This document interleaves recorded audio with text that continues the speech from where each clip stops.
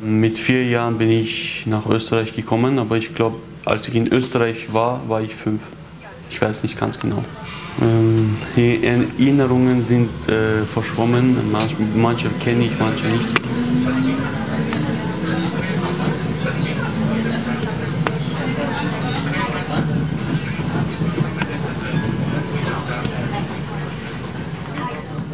Äh, mein Name ist Hamzat und ich bin 18 Jahre alt und komme aus Tschetschenien.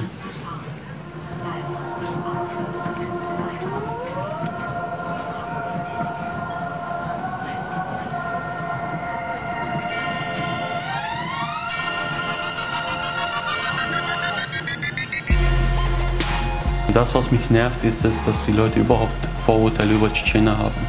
Es gibt gute Leute in Tschetschenien, schlechte Leute in Tschetschenien, es gibt gute Leute in Österreich, schlechte Leute.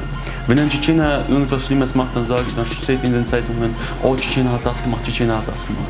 Aber wenn ein Österreicher was macht, dann steht dort nur, ein, es gab einen Bankausraub. Man weiß nicht, ob es Tschetschener war, ob es Österreicher war, ob irgendwer das war.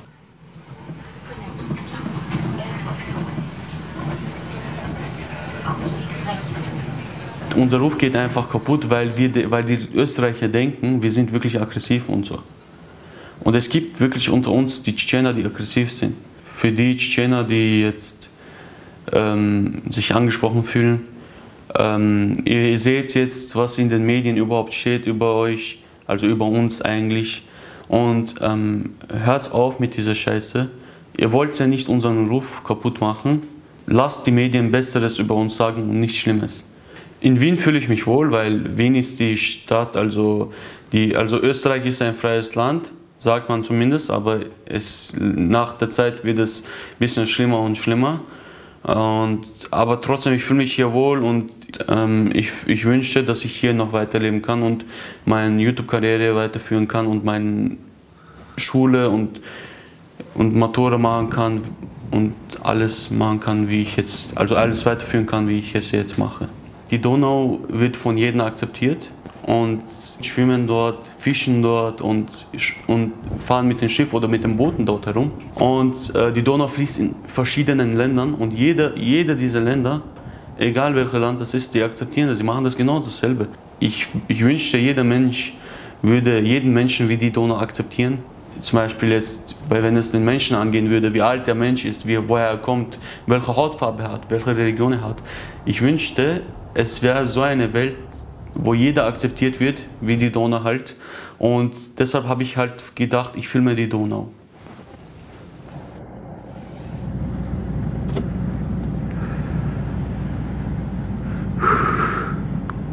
Meine Gefühle, wenn ich die Natur sehe, Fre Freiheit, es ist ruhig, ähm, die Vögel zwitschern und man kann halt einfach sich frei austoben.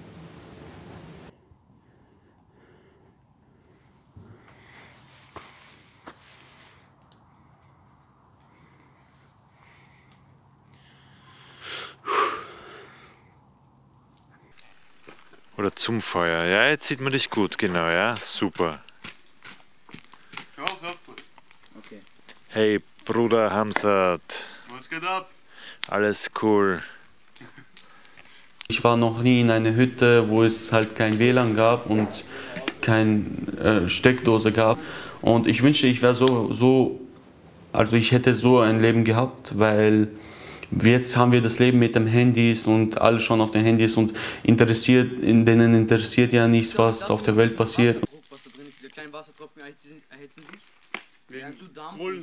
kleine Loch und das kommt da. Hamsat.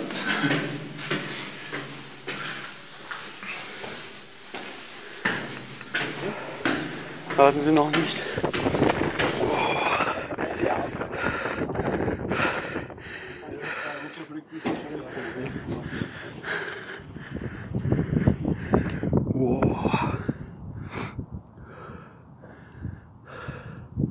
Wenn ich oben bin und so rauf schaue. Boah. Also überhaupt, dass ich hier dabei sein konnte, hat mir auch sehr gut gefallen. Und ähm, ja, halt, mir hat die Hütte auch sehr gut gefallen. Das war ein neues Erlebnis für mich, wie gesagt. Und das würde ich auch gerne mal öfters machen und nicht nur einmal. Und es hat mir sehr gefallen, dass ich halt hier war, aber die Möglichkeit habe ich nur wegen meiner Mutter bekommen.